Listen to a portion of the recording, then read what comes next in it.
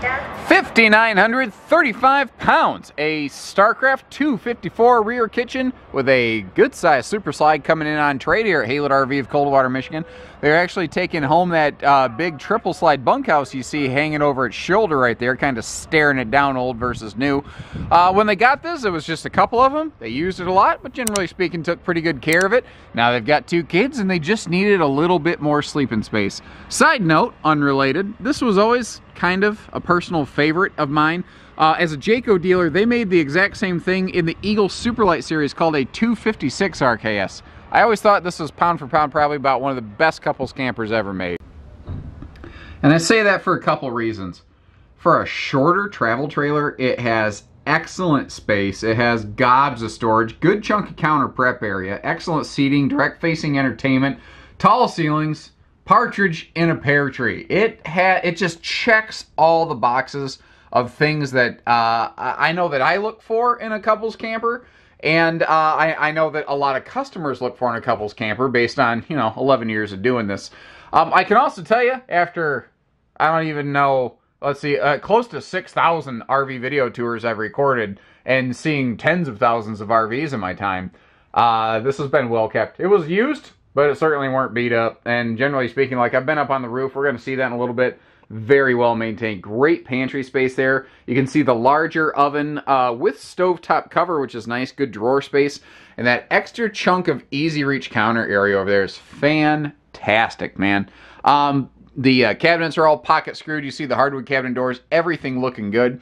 And what is kind of the secret of the sauce in this RV. Like it's very similar to a 246 Freedom Express floor plan. It's similar to a 2401 Winnebago floor plan but it has a true super slide, a long, deep slide. And you can see how the refrigerator is inside of that slide out. Not just a sofa slide, but it's a sofa, refrigerator, and big giant closet slide. You can see some drawer space down there. The sofa faces directly across from the uh, entertainment. That can always fold down into a little sleeper. The dinette can fold into a sleeper.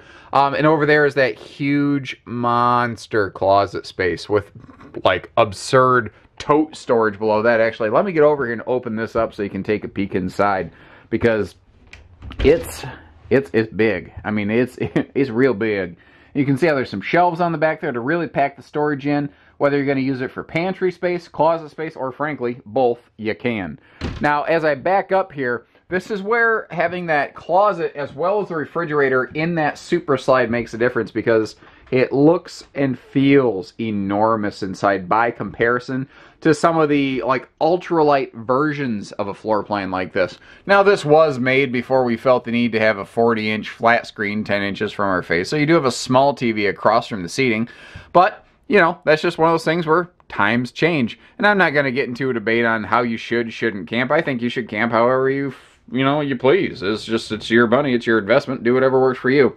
There is storage below the dinette, of course, and this is what's called a dream dinette. It's an easy up-down system on that little gas strut right there, which can very quickly, simply kind of fold up and down into either a table or uh, sleeping position. As you can see, we've got like a nice privacy wall here cutting off the bedroom, but before we get there, right next to the master bedroom, we have our master bathroom. Foot flush stool, decent counter space in here, but I do like the little cutaway on that countertop. So if you're a little fluffier, it's a bit of a fluffy, friendly bathroom scenario where a bigger person like me has some shoulder, hip, elbow, and midsection room, you know. Um, the uh, bathroom is simple but effective. It does what it needs to do. It doesn't do much more than that, but I mean, you, you got to take a quick shower. You, you got to do whatever. You're good to go. Now, um, up here in the bedroom, you can see that you do have a second entry door that's primarily here to satisfy fire code, but the frosty window in there lets in some light, plus you have that big viewing window. Now, I know some people aren't super hot to try to buy a, a door directly into your bedroom.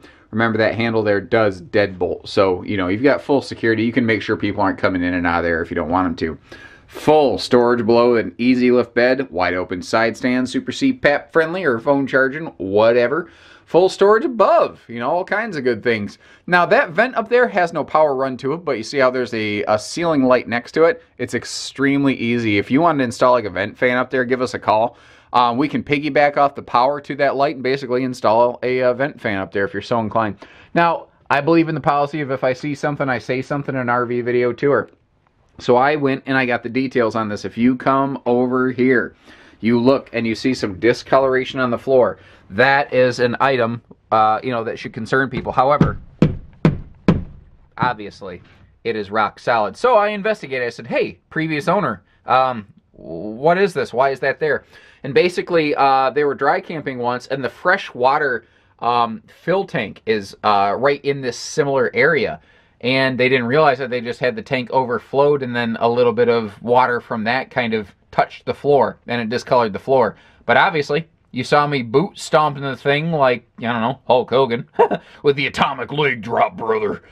Um, Man, I feel sorry for Hulk Hogan. When he does a Maury Povich DNA test and finds out that not everyone is in fact his brother, dude's gonna be crushed.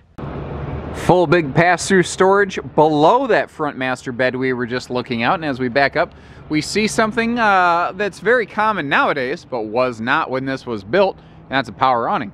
When this was made, most trailers, even fifth wheel, still had uh, manual awning. So, buddy, this was way ahead of its time.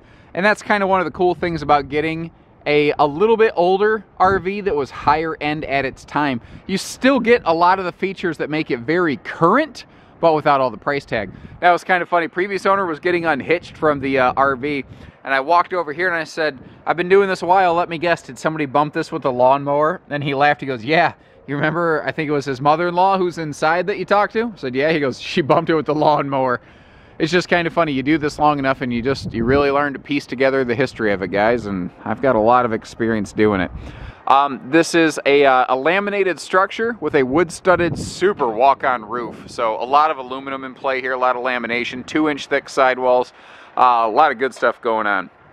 Tires look good.